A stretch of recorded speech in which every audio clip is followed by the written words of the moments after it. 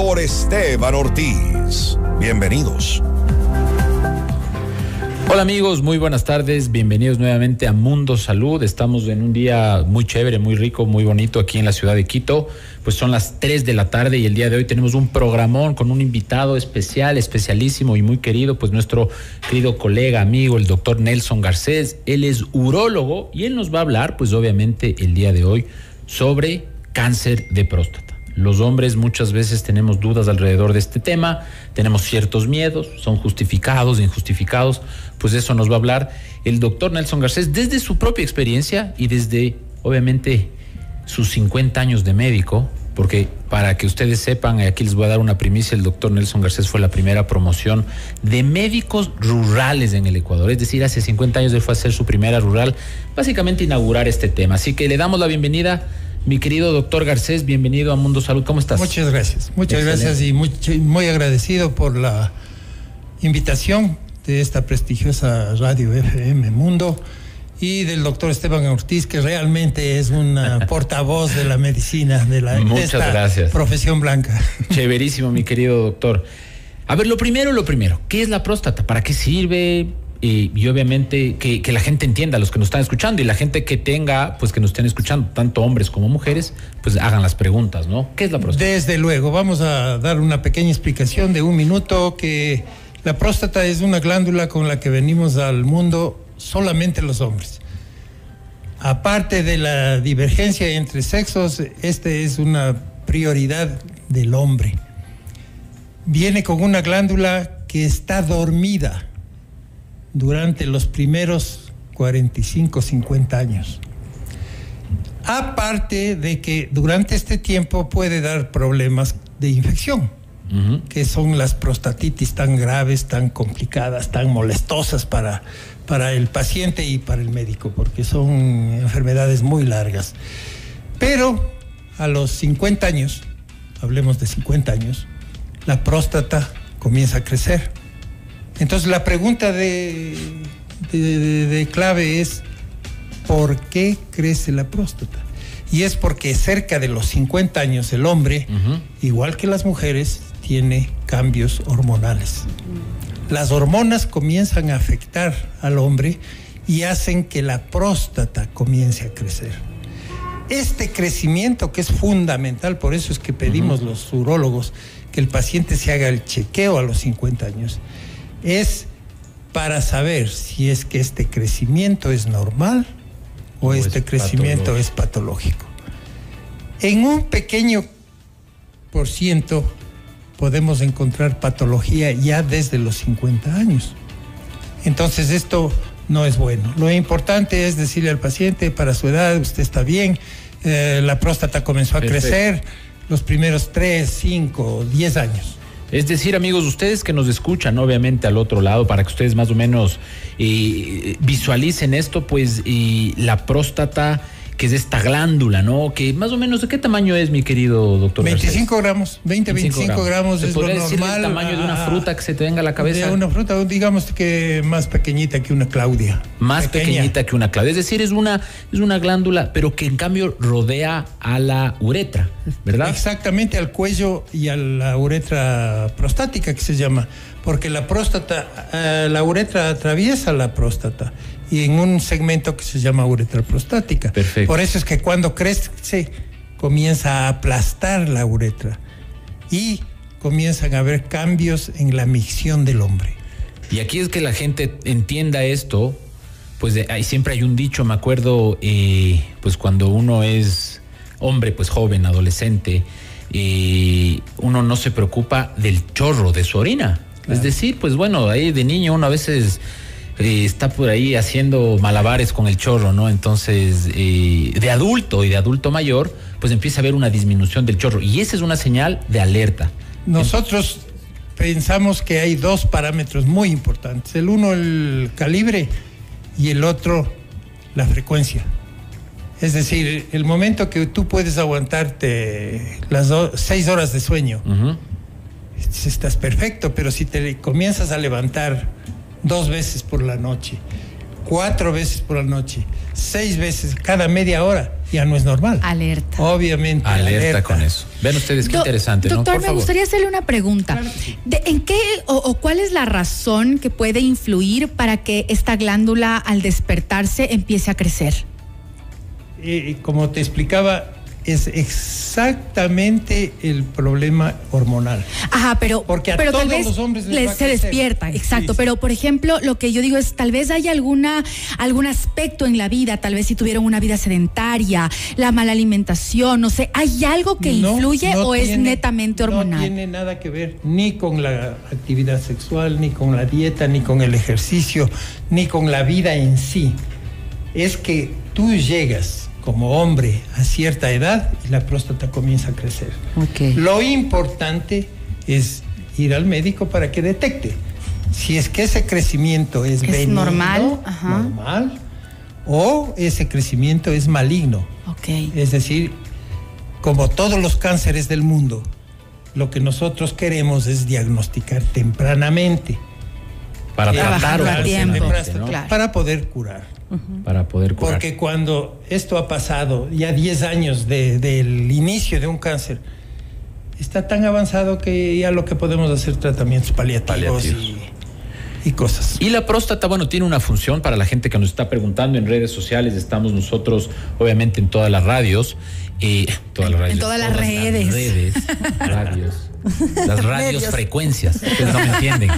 En todas las redes. Eh, la función de la próstata es producir parte de un líquido, de líquido seminal, es decir, el semen se produce con la unión de varias, eh, de varios líquidos, y uno de esos es el líquido que viene de la próstata. Y aquí viene a ver, yo te hago la pregunta porque yo estoy en ese umbral de la duda, ¿no? Entonces yo ya cuando llegué a mis 40 años, a pesar de que ustedes me vean de 25, eh, ya me hice un examen de sangre para ver si es que mi antígeno prostático estaba normal. Me dijeron, a los 40 hazte, eh, tú mismo me recomendaste hazte uno de estos, pero a los 50 sí o sí nos toca hacer el tacto rectal. ¿Es esa la mejor forma de diagnosticar cáncer de próstata, La crecimiento mejor forma de diagnosticar y de examinar globalmente una próstata es como los tres ángulos de un triángulo. En el un ángulo está el PSA o antígeno prostático específico, que es en sus siglas en inglés, ¿no? Prostático Specific Antigen. El otro es el eco, porque el eco nos da la capacidad de la vejiga de llenado, la capacidad de vaciamiento y el volumen de la próstata medido por el ecografista, que eso es muy importante. El tercer ángulo de este triángulo es el examen realizado por el médico. Y ahí viene la parte de miedo que tienen los hombres del tacto rectal. El tacto rectal no es más que un examen simple, pero tiene que ser hecho al menos una vez para partir de los 50 años. Antes no tiene sentido. No tiene Antes no tiene razón de ser. Pero, y no es que hay que hacer cada año. Porque si el PSA se mantiene bajo y el eh, ecograma nos indica que la próstata está creciendo lentamente y de forma benigna, no hay ningún problema. Pero, ahí viene el pero. Si es que el PSA sube, si es que el ecograma de la próstata nos indica que hay un nódulo que está peligroso, el tacto rectal casi no tiene eh, alternativa.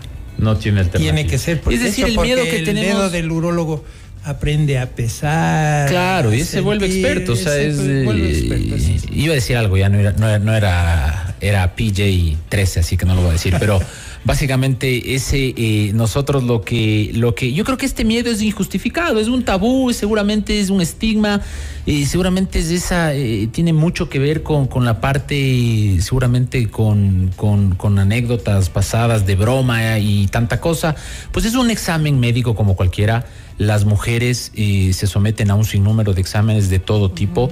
Obviamente siempre puede ser incómodo la, la, parte más invasiva, pero tampoco hay que tenerle miedo. Y siempre decían por ahí, me acuerdo en la universidad un doctor cuando nos daba urología, decía, pues bueno, si te vas a hacer y si es que eres doctor, pues lo haces con un amigo. Así uh -huh. que disfruta el momento y básicamente y nos toca hacer el tacto a los 50, el examen a los 40 y obviamente hay que ser muy claro con esto. Ustedes Respira, relájate y disfruta, dices tú. Básicamente, o sea, no nos queda de otra, no nos queda de otra y, y pues hay que hacer porque el diagnóstico temprano y oportuno es parte fundamental de esto. Hay factores de riesgo, obviamente la edad es uno, nos contaste y nos dijiste muy claramente, y entendemos también que la, el grupo étnico, eh, en los Estados Unidos hablan de, de, los afroamericanos. ¿Algún otro factor? El, tabaquismo. Bueno, el tabaquismo usualmente es malo para todo. Es malo para todo, pero no es eh, decisivo, es la única causa. y el, eh, volviendo al tacto rectal, al famoso TR el tacto rectal es un examen, es como un examen cualquiera. Un examen cualquiera. Eh, es un poco invasivo, tiene que ser hecho con una técnica muy especial, con una delicadeza suficiente para no agredirle al paciente.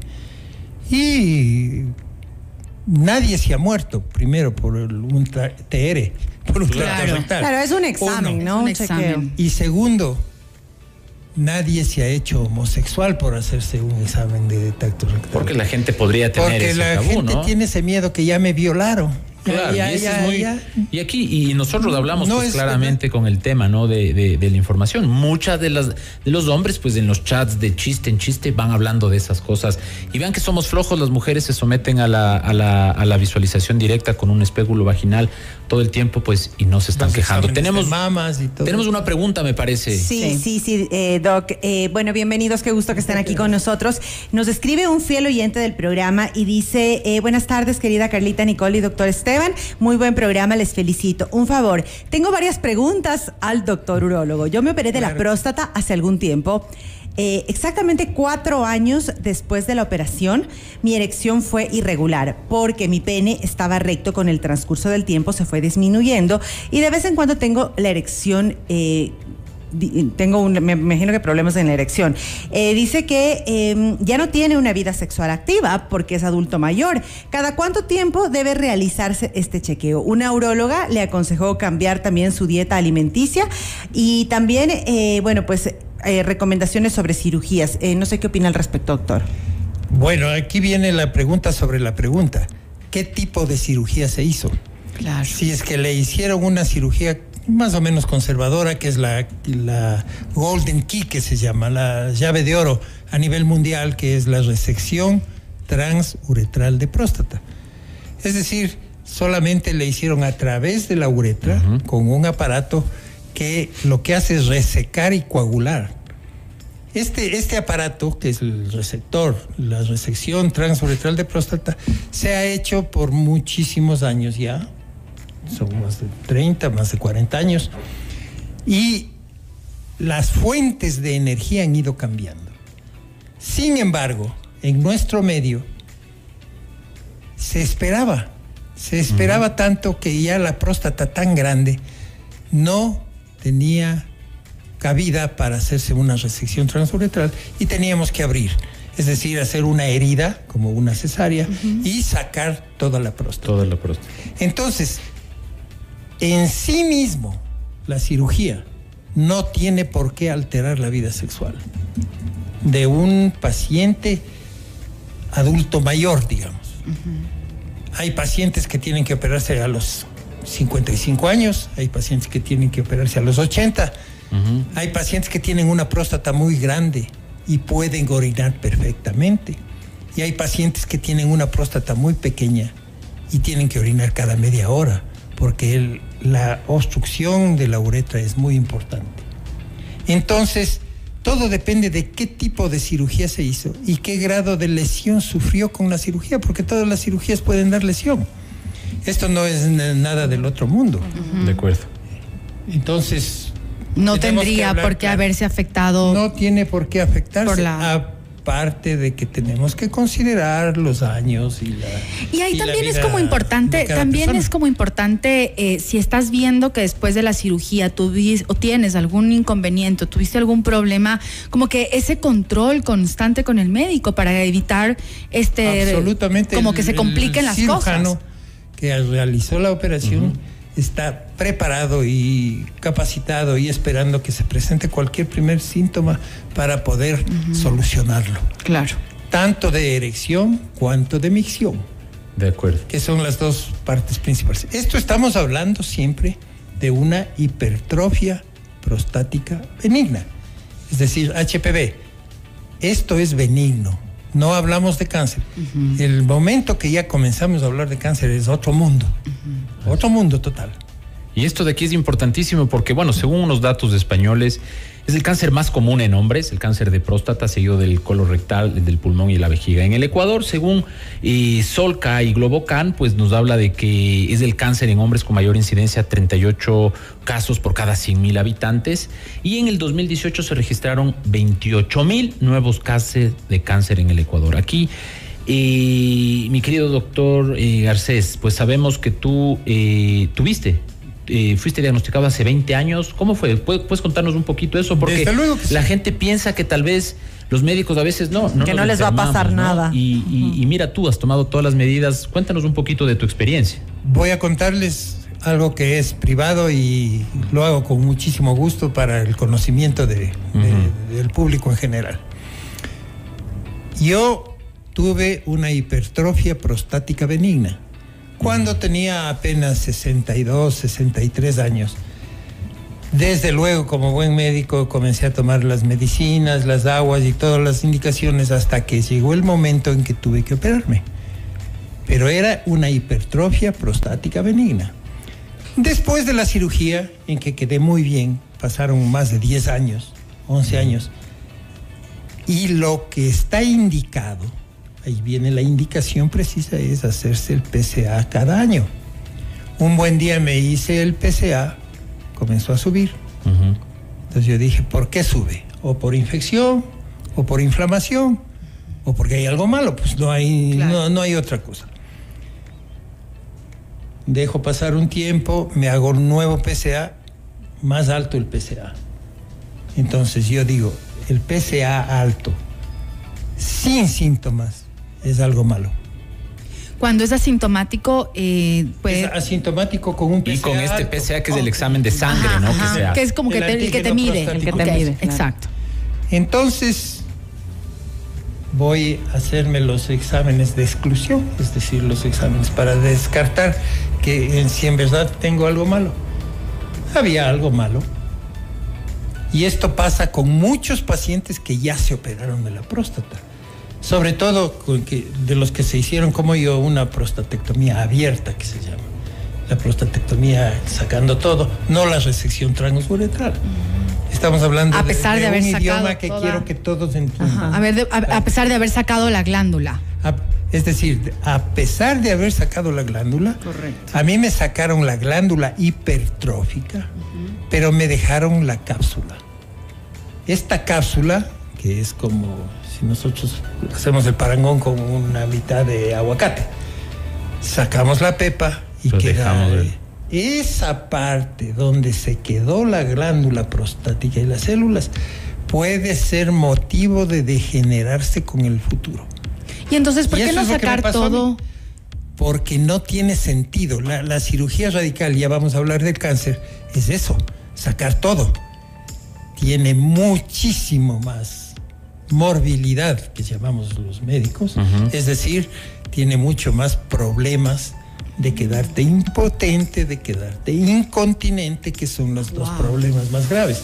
Y hay el problema más grave para el cirujano, no para el paciente, es que al hacer una cirugía radical, tú puedes ser objeto de un sangrado irreversible. Y el paciente puede morirse. puede complicarse. Ahí viene la preparación del urólogo, del cirujano, que, que tenga la suficiente experiencia para detener el problema. Para poder actuar. Es decir, que siempre tenemos que estar pendientes de esto. Y es decir, que tú y te diagnosticaron.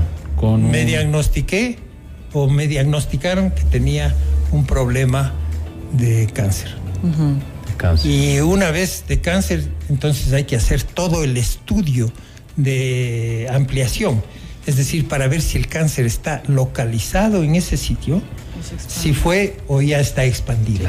Si está expandido, ¿a dónde se expande primero? a los ganglios periféricos de la próstata y de la vejiga. Segundo, a los huesos pélvicos, a los huesos de la cadera, la columna, de la cadera también. desde luego, a los huesos de la columna. Pero si hay una metástasis a nivel pulmonar o cerebral, ya estás muy, muy avanzado, ya no eres proclive o ya no eres candidato, ya, no eres candidato a hacer una cirugía.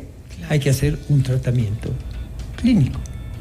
Y eso es importante. Bueno, agradecemos al doctor Garcés, nos ha contado también algo de su experiencia y está pues con una actitud. Así que felicitamos tu fortaleza, mi querido doctor Paquito, le queremos mucho. Nosotros muy fuerte, pues nos viene a traer, imaginemos eso, un ejemplo, doctor, ha tratado cáncer toda su vida y pues Así pues, él está luchando en este momento, enfrentando este problema con muchísima fuerza, mucha sabiduría y pues obviamente para darnos a nosotros ese testimonio de vida y que todos los hombres tengamos siempre pendientes de esto. Tenemos algunas preguntas. Sí, sí. Queremos invitar también a que nos pregunten, a que sigan escribiendo al 098-999-9819. Aquí está el doctor Nelson Garcés junto con el doctor Esteban Ortiz hablando sobre el cáncer de próstata. Eh, aquí nos hacen una pregunta, Carlita. Sí, dice buenas tardes, doctor. Es una pregunta. El PDA puede afectar la próstata y generar un cáncer?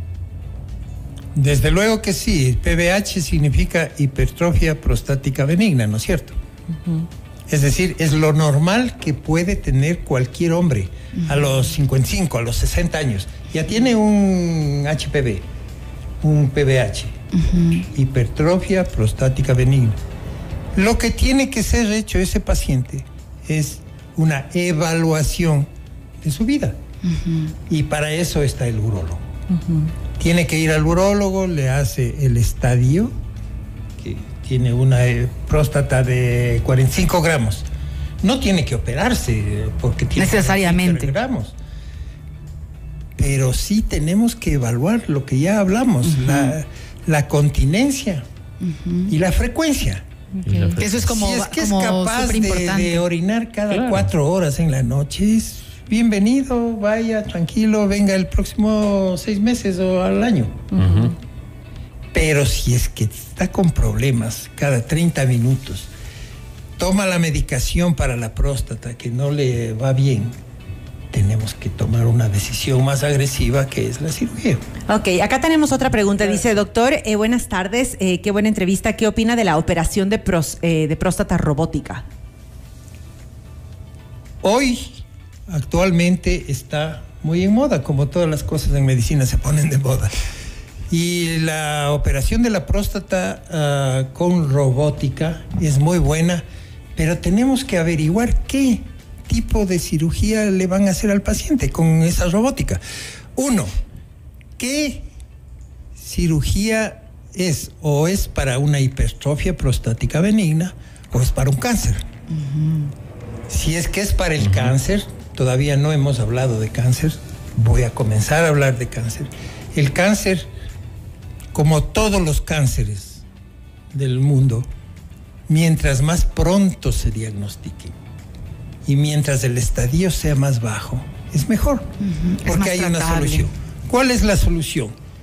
La, solución ideal es la cirugía.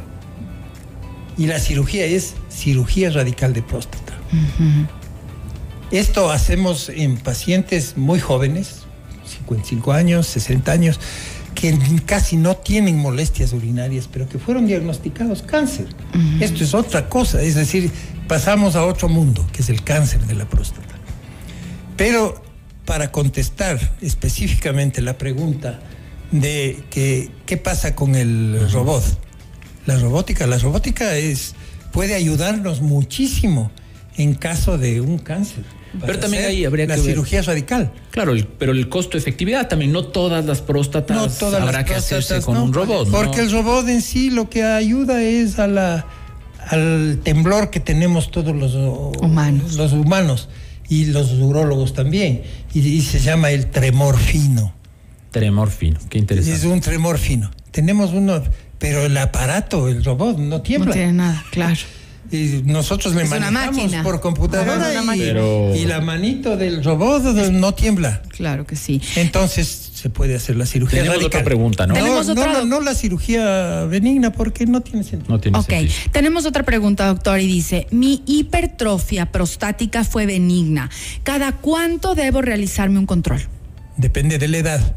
Yo recomiendo, si es que es un paciente que tiene un poco más de 60 años, es bueno hacerle unas dos veces el PSA al año. Dos veces al año. Dos veces al año. Perfecto. No como llamamos a uno, un paciente que no tiene ningún problema, cada año. Pero dos veces al año, es decir, cada cuatro meses. Un PSA es un examen tan simple, es un piconcito en, la vena y, nos da el y valor. Y te puede ayudar un montón. Si es que el antígeno está normal, no tenemos ningún problema. Venga en cuatro meses o llámeme, avíseme cómo está el PSA. Y ven que eso es lo importante de la prevención. Estos exámenes pues te ayudan a detectar rápido y el momento en que vemos que se eleva este examen, pues podemos actuar con un poco más de agresividad, pues obviamente tratando de no llegar a etapas ya más avanzadas de pues este mal del cáncer, ¿no? Que es un tema muy complejo que seguramente todos nosotros hemos tenido amigos y familiares que están peleando esta batalla y pues les deseamos fuerza a todos nosotros. Creo que ya no tenemos mucho más tiempo. Nos toca despedirnos, mi querido Paquito, como le decimos de cariño, un mensaje a la gente. quería hablar del diagnóstico. ¿Qué, qué es? En un minuto. Pedimos al, ¿qué hacemos? al paciente que está con, eh, con PSA alto, con el antígeno alto. Estamos nosotros pensando que tiene cáncer. Ajá dependiendo del paciente, si tiene las posibilidades, lo, que le pedimos es una resonancia magnética estereotáxica. Porque eso nos va a ayudar. Sin embargo, el examen ideal es la biopsia. Porque biopsia, haciendo biopsia y, tomando un pedacito podemos pues, estudiar las células. Claro y las células, por lo general, el patólogo no se equivoca. Nos dice, ¿hay cáncer o no hay cáncer? ¿De dónde tú tomaste la muestra?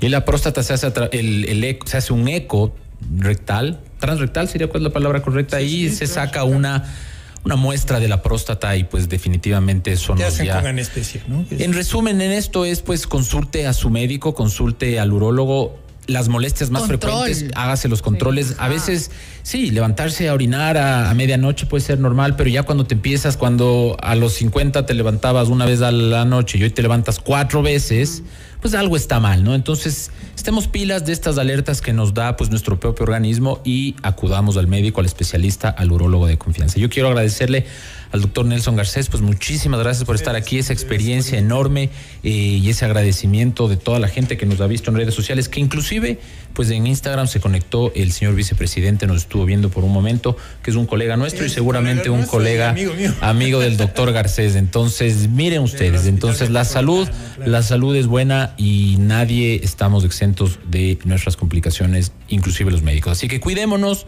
pues y hagamos todo lo que esté dentro de nuestras manos. Muchas gracias a todos. Nos vemos el siguiente miércoles. Gracias, doctor. Muy amable por venir. Gracias, doctor. Que esté muy bien. Gracias. Un honor.